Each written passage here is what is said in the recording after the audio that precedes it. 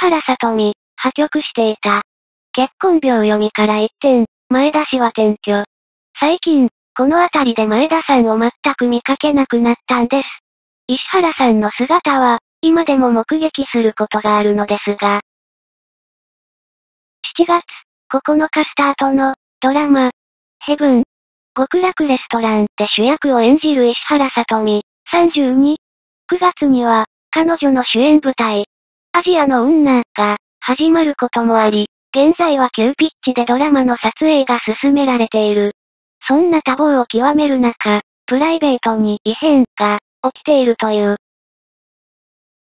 昨年4月に、週刊文春で沖縄デートが報じられ、ショールーム社長前田裕二氏32との交際が発覚した石原。8月には彼女の引っ越し先が前田と同じマンションだったことを本誌がスクープ。彼女は連日愛の巣からドラマ撮影へと向かっていた。そんな一つ屋根の下で前田氏との仲を深めてきた石原。今回の撮影中も、帰宅するのは九段のマンションだった。だが冒頭のように、最近はマンション付近で、前田氏の姿を目撃することがなくなっているという。そこには、理由があった。実は、二人は、破局してしまったようです。最近、前田さんが友人に、もう彼女とは、別れたんだ、と、漏らしていたそうで。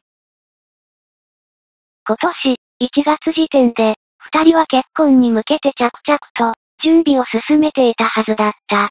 当時、石原の知人は本誌にこう明かしていた。実は前田さん、すでに石原さんのご両親への挨拶を、済ませているんです。その後も何度か会っていて、親睦を深めているとも聞きました。それほど石原さんとの結婚について本気ということ。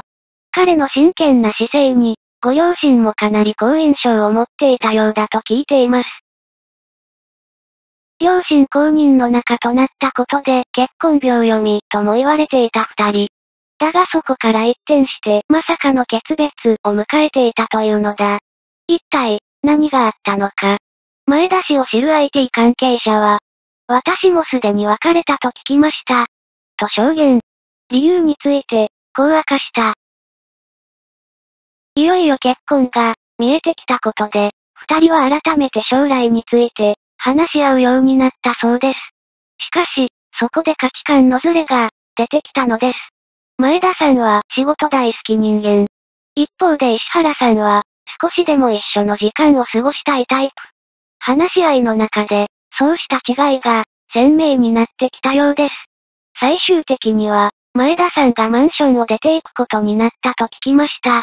現在は都内にある他のマンションで暮らしているそうです。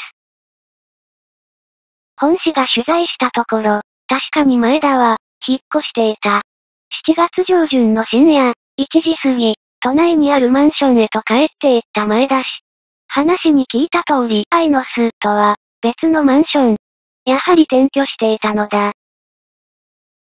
石原との破局の真相について聞くべく、本誌はショールームに問い合わせた。だが担当者は、プライベートについては、お答えいたしかねます。と、答えるのみだった。